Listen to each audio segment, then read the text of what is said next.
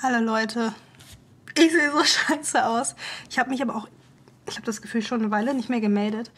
Es ist nichts Spannendes passiert, deswegen gab es keinen Grund, mich zu melden. Und ich hatte eigentlich vor, mich nicht immer wegen jedem Piss zu melden. Ähm, nur mein Problem ist, das Problem ist im Moment, das Problem, das Problem, wie oft will ich noch in einem Satz sagen, Problem, ähm, ist, dass ich im Moment ja, wie gesagt, immer schon ein bisschen vor produziert habe in letzter Zeit, also vor allem jetzt im Dezember, ähm, letzten Monat sozusagen. Und da habe ich sehr, sehr viel vorproduziert, was Hauptvideos angeht. Und ähm, ja, es kamen mega viele Vlogs im Dezember, dadurch, dass ich jeden Tag einen Vlog hochgeladen habe. Und in meinen Vlogs erzähle ich halt schon Sachen von Hauptvideos, eben wo ich Boxen ausgepackt habe und so. Und hab, sag schon, wie ich die Sachen fand. Und ihr habt das Hauptvideo dazu noch nicht mal gesehen. Und das ist irgendwie echt ärgerlich. Aber ich weiß im Moment auch noch nicht anders, wie ich das alles packen soll. Vor allem jetzt in letzter Zeit drehe ich kaum noch Vlogs. Und eigentlich muss ich das machen, weil ich hätte nicht gedacht, dass ich mal das Gefühl habe, dass mir die Vlogs ausgehen. Das ist echt krass. Also, pff. aber ähm, ja, so ist das dann halt. Ich ähm, arbeite aber auch daran, jetzt die Hauptvideos nach und nach zu schneiden. Ich will aber trotzdem, klar, ich habe im Moment mega viele Hauptvideos und könnte jetzt standardmäßig jeden Mittwoch ein Hauptvideo hochladen und dann einfach nur immer sonntags die Vlogs hochladen. Dann wäre das vielleicht auch irgendwie zeitlich wieder ein bisschen besser. Aber ich will das nicht machen, äh, weil ich einfach ganz froh bin, dass ich im Moment so einen Puffer habe mit Hauptvideos, weil ich mich dann nicht unter Druck setze. Oh scheiße, du musst mal wieder ein Hauptvideo drehen. Weil wenn ich unter Druck stehe, fällt mir meistens erst recht nichts ein. Und deswegen bin ich ganz froh, dass ich so ein paar Hauptvideos dann schon mal fertig habe. Das ist natürlich alles irgendwie dann ziemlich verschoben, aber mal gucken. Ich habe ja hier auch noch meine ganzen Weihnachtsgeschenke zu liegen, also die ich zu Weihnachten bekommen habe. Noch nichts davon berührt, also noch nichts wirklich angefasst, klingt dumm. Aber ähm, wie gesagt, einige Sachen noch nicht ausprobiert, noch nicht geguckt, die Filme und gemacht, weil mir ja noch eine Sache fehlt, die erst jetzt im Januar kommt. Die müsste diese Woche oder nächste Woche kommen. Ähm, was ja erst halt, wie gesagt, später kommt, weil das ja meine Eltern bestellt hatten und da stand ja, dass es halt ähm, jetzt erst im Januar kommt. Und ich will euch ja meine Weihnachtsgeschenke, das Video zeigen, wo komplett alles da ist. Und ich habe auch Gutscheine, die ich einfach noch nicht eingelöst habe. Aber gut, Gutscheine halten sich ja eine Weile, aber trotzdem. Und ich möchte gern halt anfangen, die Filme einzusortieren und zu gucken und überhaupt die ganzen Produkte hier zu verwenden und tralala. Und ich habe auch noch ein paar im Schrank.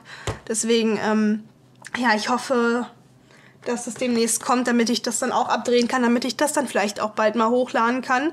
Äh, weil ich will euch ja mein, was ich zu Weihnachten geschenkt bekommen habe, Video nicht erst im Juni zeigen, weil das bringt halt auch gar nichts. Ja, und dann habe ich jetzt auch gerade gesehen, dass ähm, Dynamites Live quasi als Kanal jetzt geschlossen ist. Ähm, also der Kanal von Sandy und Daniel und die jetzt einfach alles, äh, die Vlogs auf ähm, Sandy Dynamite verlegen, also auf ihren Hauptkanal, weil sie den ja jetzt immer ziemlich vernachlässigt hat und bla bla, haben sie alles auch nochmal in ihrem Video erklärt, in ihrem letzten Video. Und klar, es ist irgendwie schade, dass sie den Kanal schließen, vor allem, weil sie ja immer noch, wo sie so richtig aktiv waren auf dem Kanal, immer gesagt haben, oh mein Gott, wir wollen 100.000 Abonnenten, jetzt sind sie gleich bei 91.000. Und ähm, ja, und jetzt auf einmal, okay, jetzt ist der Kanal so zu. Klar, weil sie das so trennen wollten. Und ich kenne ja mega viele YouTuber, die so einen Hauptkanal haben und einen Vlog-Kanal. Und weil viele das immer total gerne getrennt machen. Und ich wollte das früher auch so haben, weil ich das so cool fand, weil da irgendwann mega viele mit angefangen haben, so, okay, man trennt Hauptvideos und Vlogs. Und ähm, Melina hatte ja irgendwann ihren Vlog-Kanal auch zugemacht und ähm, hat dann angefangen, ihre Vlogs auch auf ihrem Hauptchannel hochzuladen ähm, weil man einfach doch irgendwie alles beisammen haben will.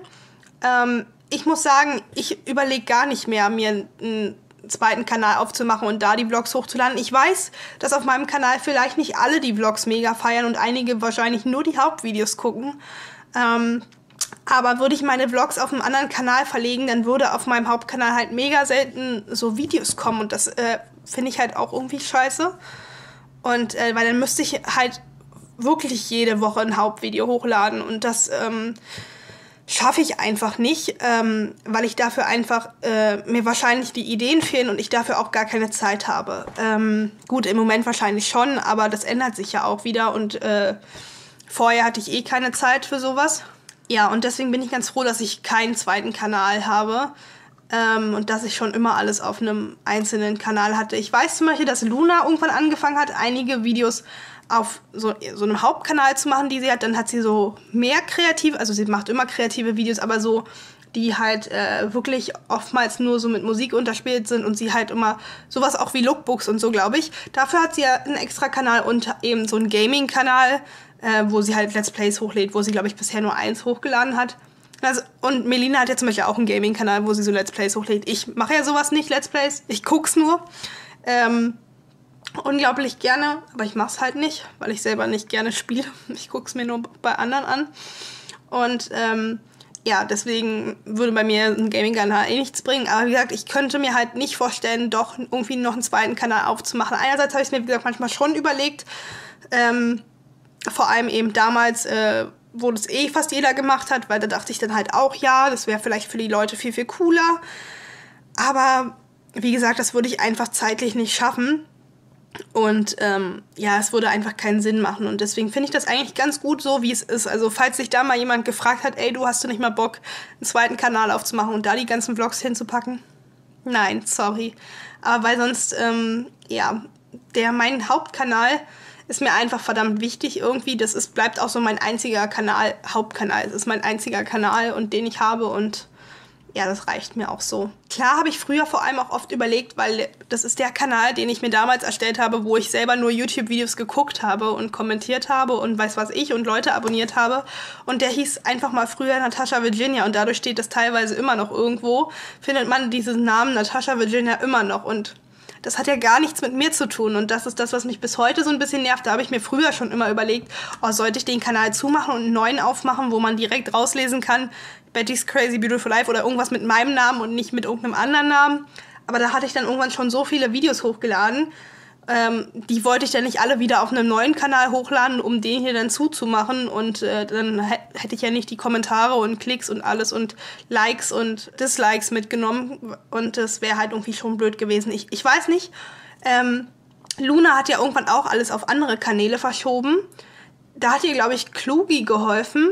Aber ich weiß nicht, ob sie. Ich glaube, sie hat sogar die Klicks und die Likes und alles mitgenommen. Aber ich weiß nicht, wie sie das gemacht hat. Da hat ihr ja Klugi geholfen. Ich habe niemanden, der mir bei sowas hilft. Und ich weiß selber auch nicht, wie das geht. Ich könnte mich wahrscheinlich im Internet schlau machen, aber so einen Aufriss will ich jetzt hier nicht machen. Das ist schon so in Ordnung, wie es ist. Es ist ja nicht das Schlimmste und damit ist alles cool. Ja, und dann im Moment läuft mein Kanal irgendwie echt gut. Ich bin erstaunt, obwohl ich ja jetzt nicht mehr jeden Tag einen Vlog hochlade. Ich hatte ja zwischendurch echt Angst, dass es nur daran liegt, weil ich jeden Tag einen Vlog hochlade oder dass es nur ein dusseliger Weihnachtsscherz war. Aber ich habe jetzt schon 470 Abonnenten. Okay, 71, wenn man genau hinguckt. Genau hinguckt, aber ne? Wenn man das genau zählt. Und irgendwie ist das voll krass. Ähm, dass es trotzdem noch weiter so aufsteigt. Und das finde ich irgendwie cool, dass äh, doch irgendwie immer mehr Leute Gefallen an meinen Videos finden und die ganz gut finden. Ich bin da echt ähm, erstaunt. Freut mich unglaublich auf jeden Fall. Hätte ich nie so gedacht. Da bin ich sehr, sehr glücklich. Auch wenn ich ähm, trotzdem ein bisschen glücklich wäre, wenn meine Community vielleicht ganz klein geblieben wäre. Klar bin ich glücklich, wenn es mehr wird, aber ich habe halt auch Angst davor, zu groß zu werden. Ich weiß, jeder freut sich eigentlich darüber, groß zu werden. Ich habe mega Angst davor. Ja, naja, weil halt mit tollen Leuten auch beschissene Leute dazukommen und Leute, die dich nicht abfeiern und damit bekommt man halt auch mehr Hater und darauf habe ich eigentlich gar keinen Bock. Und ich frage mich immer wieder so, wie andere Leute, vor allem auch große Stars, damit klarkommen. Zum Beispiel so Leute wie Ashley Tiste, die ja mittlerweile auch einen YouTube-Channel hat. Und da sehe ich ja teilweise auch manchmal Kommentare, wo ich denke, oh Gott.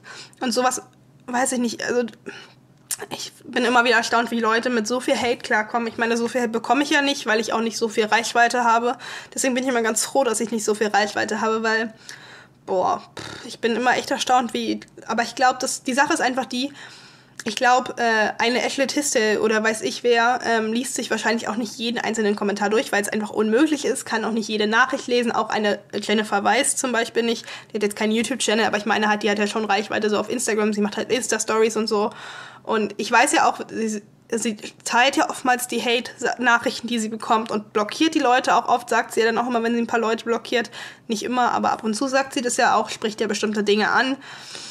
Aber da denke ich mir auch immer dann, wow, es ist echt krass. Also, es ist, wow. Also, einerseits will man ja mit der Community ag agieren, aber wenn da immer irgendwelche Leute dazwischen funken, die echt pff, scheiße sind, das ist echt uncool. Wie auch immer, ich bin jetzt bei 470 Abonnenten und meine Aufrufe sind bei 170.225. Also meine gesamten Kanalaufrufe, also hier Videoaufrufe zusammen sind es ja, glaube ich, immer. 170.225. Ist schon nicht schlecht, würde ich sagen. Ähm, aber da hatte ich ja eh schon immer relativ viele, obwohl ich nie viele Abonnenten hatte. Aber weil ich halt auch Videos noch habe, die teilweise mega viele Klicks haben. Das mit den meisten Klicks hat bei mir 48.778 Klicks. Ich bin völlig von den Socken. Das ist ein XXXL Haul Teil 1. Und der zweite Teil ist irgendwo mega weit unten, wo ich mir denke, alle gucken nur den ersten Teil, keiner guckt den zweiten Teil. I don't know. Ähm, vor allem dieses XXL hat wahrscheinlich XXXL. Oh mein Gott, ich kann das schon nicht aussprechen. Ähm, ich weiß nicht, ist das sowas, ähm, wo Leute draufklicken? Oder warum ist das so krass? Egal. Ähm, ja, und dann habe ich halt unter anderem hier auch so Videos with Ashley Tisdale, it's very funny. Das hat zum Beispiel 3000 Klicks, ähm, 3146, um genau zu sein. Aber das ist halt, sind so quasi Ashley Tisdale Compilations, ähm, wo sie halt so lustige Sachen, wo Outtakes und alles sowas. Und ähm, wo sie lacht und tralala, sowas eben. Das habe ich ja früher auch mal gemacht und das habe ich ja bis heute noch auf meinem Kanal online. Äh, ja, weil ich das ganz gut fand. Und ich will es halt auch nicht runternehmen. Das ist auch, das habe ich zwischendurch mal hochgeladen. Also ich mache ja schon eine Weile YouTube. Ähm, sag ich mal zum Beispiel, hier ist ja zwischendurch ein Video von vor fünf Jahren und das mit Ashley Teste ist zum Beispiel von vor vier Jahren. Also ja, deswegen, ich nehme das jetzt auch nicht runter. Das ist mir jetzt nicht, also klar, es hat nichts mit mir zu tun, aber es ist halt ein Video, was ich erstellt habe. Klar, ich habe nicht die Rechte an den Bildern und bla bla bla. Ich äh, verdiene hiermit auch kein Geld, deswegen, ja. Auf jeden Fall bin ich äh, mega erstaunt irgendwie, dass das doch irgendwie in letzter Zeit so steigt. Klar, ich glaube, äh, die Abonnenten steigen natürlich auch schneller, wenn man schon eine gewisse Reichweite hat. Dann umso größer man wird, umso schneller steigt, glaube ich, auch die Abonnentenzahl. Klar, wenn man dann bei 1000 ist, dauert es natürlich länger, bis du zu 2000 kommst. Das ist wie von 1 zu 10 zu kommen oder von 10 zu 20 zu kommen, geht halt fixer als von ähm, 100 zu 200 zu kommen oder von 200 zu 300 zu kommen. Und äh, so ist es dann auch, ne? Das geht dann natürlich wieder fixer als von 1000 zu 2000 oder 2000 zu 3000 und so weiter. Also klar, aber ich meine halt so, wenn man eine gewisse Anzahl hat. Ja, einerseits ist es schon cool, dass so viele Leute scheinbar an meinen Videos gefallen finden. Das macht mich unglaublich glücklich und ich hätte nie, also wo ich angefangen habe, hätte ich nie gedacht, dass überhaupt so viele Menschen überhaupt gefallen finden würden an dem, was ich mache, sage, tue, wie auch immer. Und ähm, aber es macht mir, wie gesagt, auch ein bisschen Angst, dass dann doch scheinbar so viele Menschen meine Videos gucken und mich ja doch irgendwie wissen irgendwie, wie, wer ich bin. Und das ist schon irgendwie gruselig. Deswegen habe ich mittlerweile auch irgendwie immer Angst, auf der Straße rumzulaufen. Und ich habe immer Angst, neue Menschen kennenzulernen. Das klingt total dämlich, weil eigentlich liebe ich es, irgendwie neue Menschen kennenzulernen. Aber irgendwie habe ich ja auch mega Angst davor. Weil, oh, ich weiß nicht, das ist irgendwie mega gruselig ich meine, klar, ich kann ja nicht immer davon ausgehen, dass irgendeiner mich kennt. Vor allem bei der kleinen Reichweite ist es ja dann doch irgendwie unmöglich und als ob mich jeder Zweite kennt. Aber wie gesagt, ich kenne es ja von den großen YouTubern, wie viele Probleme die teilweise haben. Äh, immer Stress, also weil die oft angesprochen werden und tralala. Und vor was habe ich irgendwie Angst. Keine Ahnung, klar, ich freue mich, wenn ich angesprochen werde von Leuten und nach Fotos gefragt werde oder also nach einem Foto gefragt werde oder wie gesagt nach irgendwie generell einfach angesprochen werde. Das ist schon cool, aber es ist auch irgendwie trotzdem beängstigend und ich weiß nicht. Könnt ihr das irgendwie nachvollziehen? Ich weiß es nicht. Es ist, glaube ich, schwer zu verstehen, aber ähm, ja, einerseits ist es schön, andererseits auch irgendwie gruselig. Also es ist ein schöner Albtraum, ich weiß nicht, oder ein, ein schrecklicher, schöner Traum, ich weiß nicht. Ich, ich kann es nicht beschreiben. Ähm, es ist irgendwie auf jeden Fall super, super komisch. Ich bin da so ein bisschen hin und her gerissen. Ich weiß nicht, ob ich es gut oder schlecht finde. Aber naja, gut, ich rede schon wieder zu lange. Aber ich wollte es mal ansprechen. So. Tschüssi. Hallo Leute. Ich sehe total fertig aus. Es liegt auch daran, dass ich mega fertig bin. Ich war heute wieder beim GZSZ-Dreh. Entschuldigt bitte die Unordnung auf meinem Bett, aber ich habe meine Sachen einfach nur hingeschmissen, als ich nach Hause kam. Ähm, ja, ich war heute wieder beim GZSZ-Dreh, war mal wieder Kaffeegast, hat mich sehr gefreut, weil das war ich ja bisher nur einmal und deswegen war das echt cool, nochmal Kaffeegast zu sein. Das war mein erster Dreh für dieses Jahr. Finde ich ein bisschen cool. da habe ich mich sehr gefreut, als ich wann habe ich die Nachricht gekriegt? Vorgestern oder so. Und ja, dafür musste ich aber schon 7.30 Uhr da sein. Das heißt, ich bin mit dem ersten Bus hier gefahren, der hier fährt, um 5.04 Uhr. Das heißt, ich bin 3.50 Uhr aufgestanden. Alter. Ich bin so tot. Wirklich, ich kann nicht mehr. Es ist, naja, abgesehen davon, dass ich gestern Abend jetzt auch nicht so gut einschlafen konnte, ähm, bin ich heute Morgen trotzdem erstaunlicherweise ganz gut rausgekommen. Dennoch bin ich jetzt einfach tot. Ich bin, also auf dem, ich habe mir heute Morgen Kaffee gemacht, dadurch ging das wahrscheinlich. Hinweg war in Ordnung. Äh, dort war es in Ordnung. Rückweg habe ich dann ein bisschen geschlafen, so immer ein bisschen gedöst. Als ich dann zu Hause war, habe ich noch ein Paket ausgepackt und so, weil meine Mutter ja wieder und ich bei EMP bestellt hatten. Wieder noch ein paar Kleider so für die Reise und so. Und auf jeden Fall, ja, bla bla bla. Mein Vater dann gefragt, ob ich Hunger habe. Ich hatte ab den ganzen Tag jetzt nur so Würstchen gegessen und ähm, so eine Salamis und äh, Käsekuchen, so diesen von, keine Ahnung, so ein Frischkäse-Käsekuchen hier, der im Kühlregal, so ein kleines Stänkchen, weiß ich. Auf jeden Fall, ja. Und eigentlich hätte ich dann gedacht, komm, dann isst du dann den ganzen Tag weiter nichts mehr. Aber als mein Vater mich dann gefragt hat, ob wir was essen wollen, habe ich dann gefragt, ja, was denn? Und meinte er halt, ja, was wir da haben. Und dann meinte ich halt, ja, ich würde auch gerne bestellen. Äh, und dann hätte er jetzt Nein gesagt, dann hätte ich nichts gegessen wahrscheinlich. Oder nur so Shit äh, in mich reingeschoben. Und jetzt haben wir, oder jetzt, und dann hatten wir halt beim Inder bestellt. Ich war ja so gegen 13 Uhr, glaube ich, zu Hause. Ja, gegen 13 Uhr. Und dann haben wir beim Inder bestellt und haben Indisch gegessen. Ich habe mein Essen nicht geschafft. Deswegen werde ich den Rest wahrscheinlich morgen oder übermorgen essen, mal gucken. Ja, und dann war ich so voll gefressen, dass ich mich erstmal hinlegen musste und schlafen musste. Und jetzt habe ich geschlafen bis jetzt. Eigentlich könnte ich noch länger schlafen. Aber mein Hund hat mich geweckt, weil er mich pünktlich um 17 Uhr erinnert hat, dass er jetzt Hunger hat wegen was essen. Und dann habe ich ihm was zu essen gegeben. Und ähm, jetzt bin ich halt wach. Also ich habe noch eine Weile auf der Couch gelegen, aber und am Handy geglotzt so. Aber jetzt bin ich äh, einfach wach. Also was heißt wach? Ähm, ich bin immer noch übelmüde. Aber da ich ja, wie gesagt, heute noch ins Kino gehe mit meiner Cousine und meiner Mutter und wir gucken Pitch Perfect 3. Das heißt, äh, ja. Ich wollte jetzt nicht ganz so fertig sein. Deswegen stehe ich jetzt schon mal auf damit ich ähm, nachher nicht ganz so fertig aussehe, dass ich mein Gesicht jetzt ein bisschen erholen kann, ich mich gleich auch noch mal ein bisschen fertig machen kann. Also ich glaube, so schminken will ich nämlich nicht noch mehr. Habe ich keinen Bock drauf, so ich lasse mich einfach so. Aber ich werde mir noch was anderes anziehen und so. Ja, aber wie gesagt, der Dreh heute war echt cool.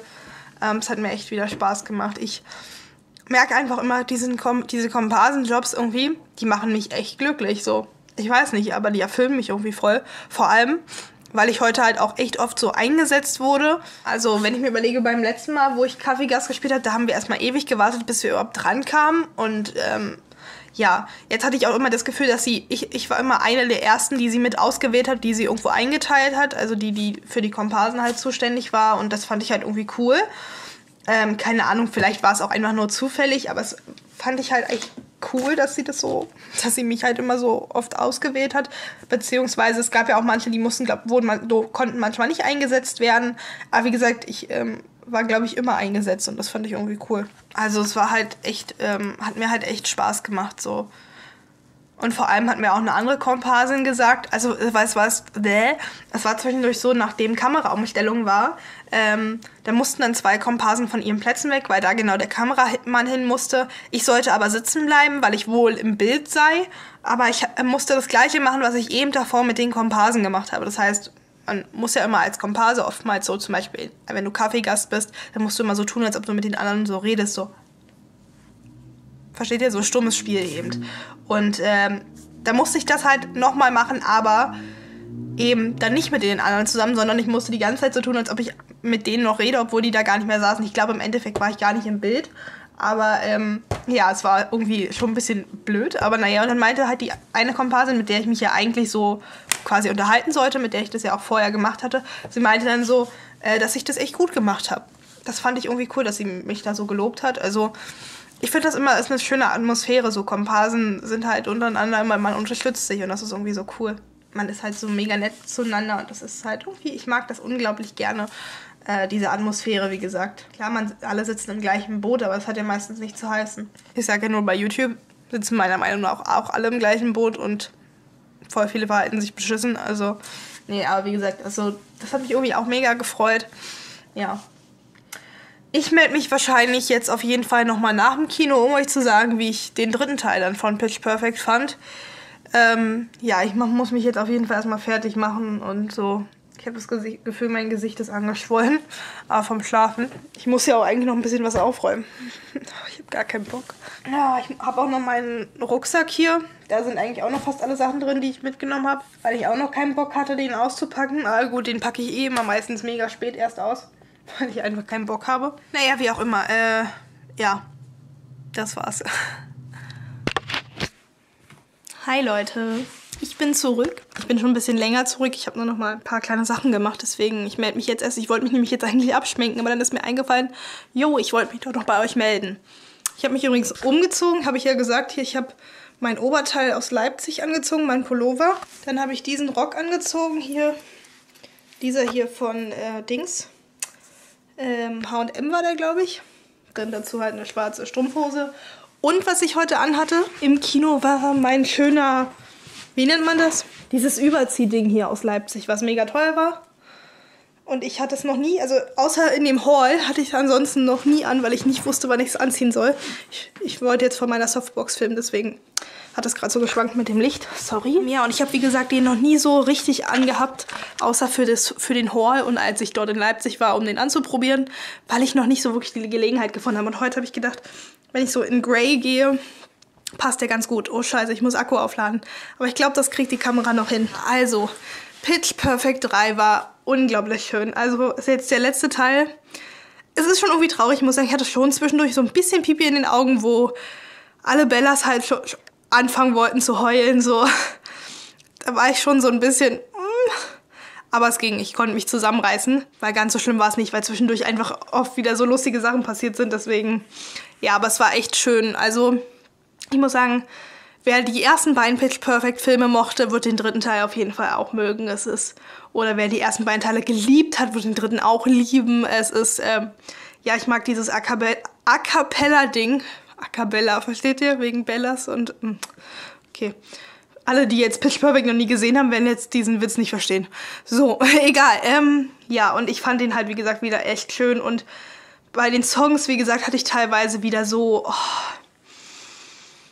Gänsehaut irgendwie. Ich saß öfter im Kino und hatte Gänsehaut. Und ich glaube nicht, dass es daran lag, dass es immer zwischendurch plötzlich kalt geworden ist. Ich glaube, es war wirklich, in letzter Zeit hatte ich echt das Gefühl, ich fühle echt viel. Also klar, ich habe schon immer Musik irgendwie gefühlt, aber ja, ich weiß nicht, wie ich es beschreiben soll. Aber irgendwie, wenn ich gute Musik höre, kriege ich echt oft Gänsehaut in letzter Zeit. Ich weiß nicht, woran es liegt. Ich habe da mittlerweile echt... Pff, ja, es ist, aber es hatte ich ja auch schon oft irgendwie weiß ich nicht, bei vielen anderen Sachen. Auf jeden Fall, was das, ähm, war es auf jeden Fall echt schön. Und danach äh, sind meine Mutter, meine Cousine und ich haben wir noch einen Cocktail getrunken zusammen und ähm, ja, haben uns noch ein bisschen unterhalten. Und dann haben wir uns eigentlich schon wieder auf den Weg nach Hause gemacht. Ich meine, es ist ja jetzt auch spät. Wir haben ja schon nach 0 Uhr. Ähm, ja, achso, und ich habe heute, seht ihr kaum noch wahrscheinlich, nur noch ein bisschen den MAC Lippenstift in der Farbe Stone drauf gehabt. Der hat halt einfach gepasst zu diesem ganzen Grauen heute. Oh, ich habe es einfach geliebt heute. Heute war ich so all grey oder all dark auf jeden Fall. Aber fand ich jetzt gerade gut. Also nicht heute den ganzen Tag, aber im Kino auf jeden Fall und so. Ja. Ähm, also wie gesagt, ich fand den Film unglaublich schön. Ich habe auf jeden Fall vor, sobald der auf DVD rauskommt, ich hoffe, die machen so eine Setbox, äh, wo alle drei Teile drin sind, weil die würde ich mir dann gern holen. Ist ja meistens günstiger sowas. Deswegen habe ich mir ja die ersten beiden Teile noch nie auf DVD geholt, obwohl ich die mega gut fand, ähm, aber weil ich halt einfach warten wollte, bis der letzte Teil halt auch rauskommt, dann würde ich mir halt gerne so eine Setbox holen. Ich fand es schon schade, dass es damals das nie für High School Musical gab. Dafür hätte ich mir auch gerne so eine Setbox geholt echt traurig, dass sie das dafür nie gemacht haben. Ich meine, es gab auch drei Teile davon. Und zur Not hätten sie natürlich auch gerne noch den Chapeys fabelhafte Welt mit reinmachen können. Und wenn nicht, wäre es auch in Ordnung gewesen. Ich hätte einfach das toll gefunden, wenn sie eine Setbox gemacht hätten. Aber nein. Ja, also war unglaublich schön, mal wieder meine Cousine zu sehen. Also klar, ich habe sie zu Weihnachten gesehen, aber auch so, man sieht sich sonst immer so selten. Und ähm, meine andere Cousine sehe ich häufiger. Auf jeden Fall so in, den Letz in letzter Zeit so. Und deswegen, äh, ja, war es mal wieder schön, sie zu sehen. Ich äh, werde mich jetzt auf jeden Fall abschminken und werde jetzt noch ein bisschen Gronk Let's Plays gucken. Zum Einschlafen, so wie immer eigentlich. Was heißt zum Einschlafen? Ich gucke die ja schon immer zu Ende und wenn ich merke, ich werde müde, dann gucke ich das noch zu Ende und dann schalte ich aus. Ich nenne es immer so zum Einschlafen. Ich fand mich heute irgendwie schon wieder so schön, dass ich am liebsten ein Video drehen würde. Weil ich das irgendwie heute mag. Vor allem mit meinen dunklen Haaren, ne? Mit meinen blonden Haaren, klar, wäre Stone auch cool gekommen, keine Frage. Dieser Kontrast wäre es einfach gewesen. Aber heute war ich so dunkel und mit diesen dunklen Haaren Wäre auf jeden Fall ganz geil gewesen. Ich muss auch sagen, ich fühle mich mit dunklen Haaren irgendwie anders. Klingt irgendwie voll dämlich. Aber ich habe das Gefühl, also ich bin ja kein anderer Mensch geworden, nur weil ich jetzt dunkle Haare habe. Aber irgendwie fühle ich mich anders mit dunklen Haaren. Ich kann euch nicht sagen, was es ist, keine Ahnung. Ich habe auch das Gefühl, ich werde von anderen Leuten anders wahrgenommen mit dunklen Haaren, was eigentlich schwachsinnig ist. Was macht eine blöde Haarfarbe? Äh, das sagt gar nichts über einen Menschen aus. Und das. Hm, ich verstehe es auch nicht. Vielleicht habe ich auch nur das Gefühl, dass ich von anderen Menschen anders wahrgenommen werde. Aber ich habe das Gefühl, es sprechen mich auch öfter Leute an, seitdem ich dunkle Haare habe. Und wie gesagt, ich habe das Gefühl, die Leute nehmen mich anders wahr. Ich habe das Gefühl, jetzt wo ich dunkle Haare habe, nehmen mich sogar die Leute ernster. Warum ich das Gefühl habe? Weil ich irgendwie immer dieses Gefühl hatte, mit blonden Haaren war ich für viele immer nur diese dumme Blondine und bla bla bla, dieses ganze Gesülze. Und irgendwie ich weiß nicht, und ich habe das Gefühl, mit dunklen Haaren ist das jetzt anders. Was eigentlich voll dämlich ist, weil ich habe mich ja ansonsten nicht verändert. Das ist ja nur die scheiß Haarfarbe, die auch noch einen Grünstich hat. Aber ähm, ja, irgendwie fühle ich mich anders. Vielleicht hat es auch gar nichts verändert und ich bilde mir das einfach bloß ein. Aber vielleicht sehen mich die Leute auch gar nicht anders. Oder sie haben mich vielleicht auch noch nie so als dumme Blondine gesehen, keine Ahnung. Aber irgendwie, weiß ich nicht, habe ich mich habe ich das Gefühl, dass ich im Blond nicht so ernst genommen wurde wie mit dunkleren Haaren. Vielleicht, wie gesagt, keine Ahnung. Vielleicht ist das auch gar nicht so. Ich ähm, weiß es nicht. Morgen werden auf jeden Fall wieder ein bisschen die Spitzen geschnitten, weil es muss ja auf jeden Fall immer regelmäßig jetzt ein bisschen was ab, damit ich bald irgendwann nur noch diese Haarfarbe habe, was meine Naturhaarfarbe ist. Unterscheidet sich kaum von der Haarfarbe, abgesehen davon, dass die hier grün ist. so leicht. Ähm, ja, dieses so dunkle Blond, dass es mir gar nicht gefällt. Aber gut, ich muss sagen, ich habe mich jetzt hieran gewöhnt. Ich kann mir sogar vorstellen, dass ich mich an meine Naturfarbe auch gewöhne. Ähm, ja, mal schauen, was die Zeit so bringt. Okay, gut. Was so Musik angeht und tralala, dazu wollte ich euch noch was wegen meiner Serie sagen, die ich im Moment gucke, die Serie Empire. Dazu komme ich aber noch ähm, wahrscheinlich entweder zu meinem Fazit oder ich sage euch zwischendurch vielleicht auch noch mal ein bisschen was. Keine Ahnung, bevor ich das Fazit bringe werdet ihr ja sehen, wenn ihr regelmäßig meine Vlogs verfolgt. Ach so, bitte keine Angst haben vor dieser gruseligen Puppe hier hinten. So gruselig ist sie gar nicht. Wenn ich sie angucke, schon. Aber ich gucke sie einfach nicht an, außer hier im Bildschirm. Ähm, ich hoffe, es stört euch nicht, dass sie hier im Hintergrund ist. Ähm, ja.